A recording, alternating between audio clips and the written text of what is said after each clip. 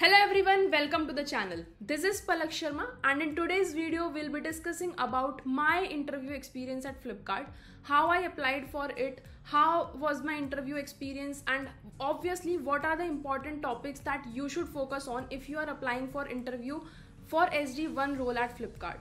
From the time I have posted it on LinkedIn that I have been selected for SDE1, I have been receiving lots of queries regarding this these things only. So I decided to make a video, a detailed video on this and here it is.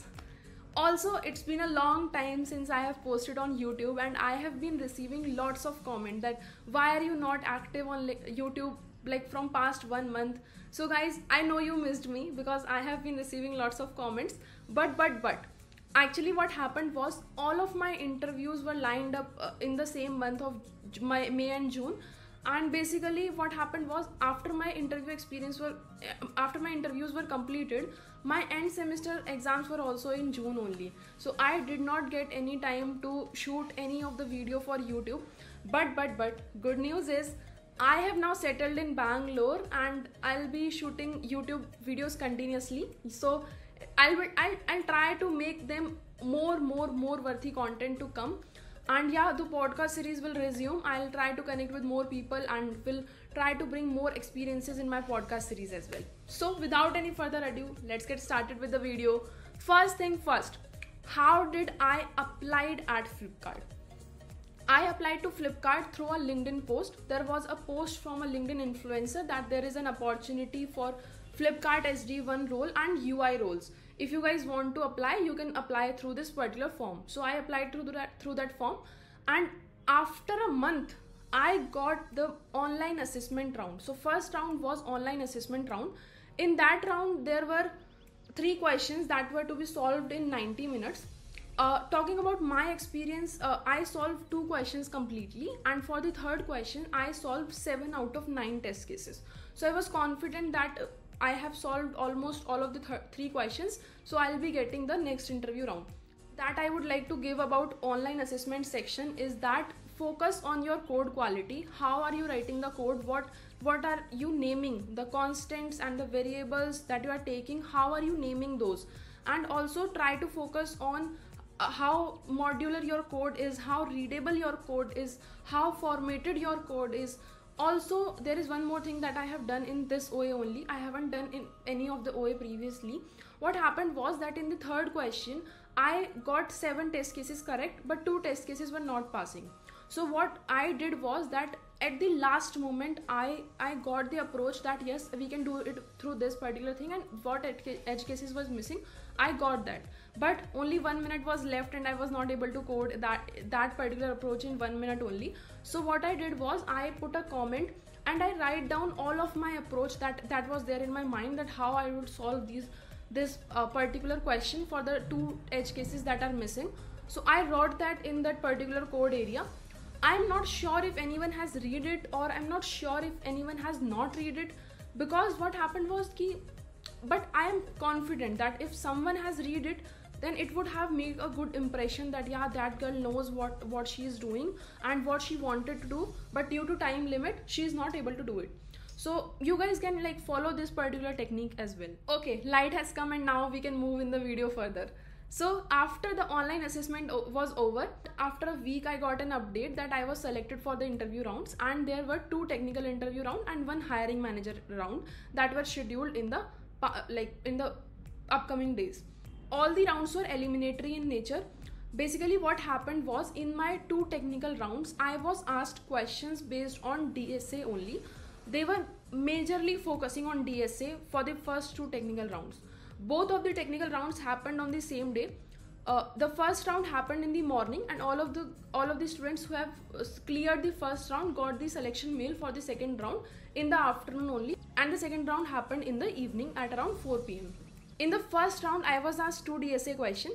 One was based on stack hard question and another was uh, based on dynamic programming. It was also in the range of medium to hard only.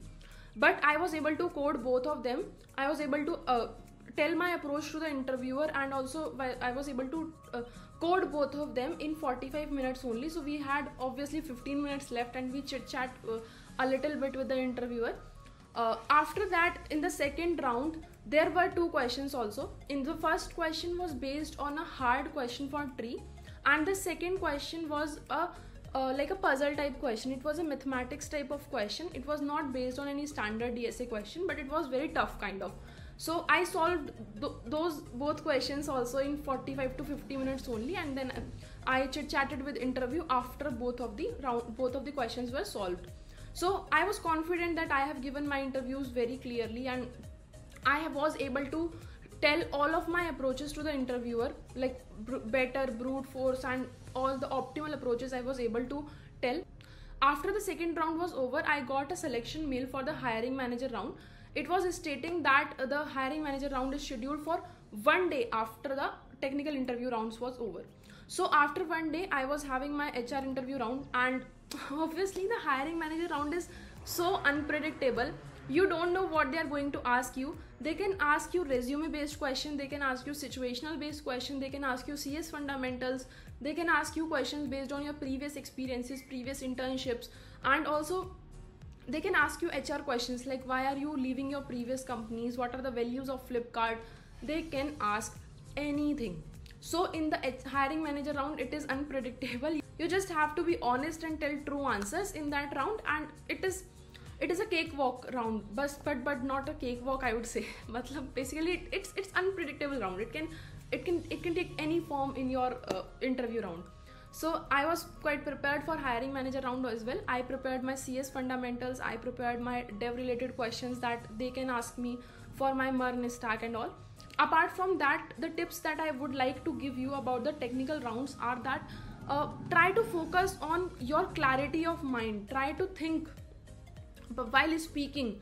Uh, basically try to communicate your thoughts to the interviewer and think and communicate what you are thinking to the interviewer as well so that they can help you. They can give you hints as well so in the hiring manager round they asked me many questions related to cs fundamentals related to operating systems and they also asked me related to they also asked me several questions related to server databases mongodb and like the, the, that particular interview round of one hour was looking like a startup interview round because i have already given many startups interviews so i was quite comfortable in that round as well.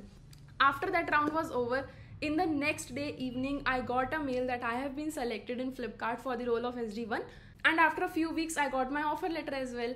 So yeah that was it about the experience. I hope you have received some of the tips and also the the process the interview round process is clear to you guys. If you have any doubts or you want to ask me anything you can just comment down in the section or either you can connect with me on linkedin as well or on instagram whether wherever you are comfortable you can connect with me and ask me your doubts.